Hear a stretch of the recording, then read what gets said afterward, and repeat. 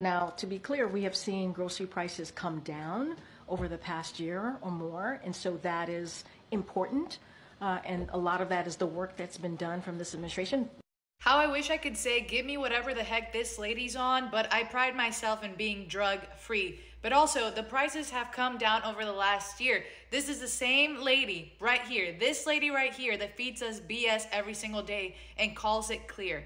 I don't know how you guys go number two or, you know, you guys go take a dump, but it ain't nothing but clear. There is nothing clear to this lady's stuff.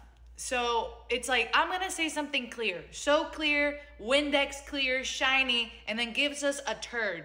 A bull turd.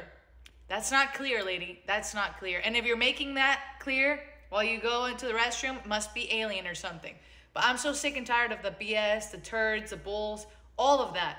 There's nothing clear besides lies. Besides, like I said, whatever the heck she's on must be powerful, must be very powerful, but I'm drug free.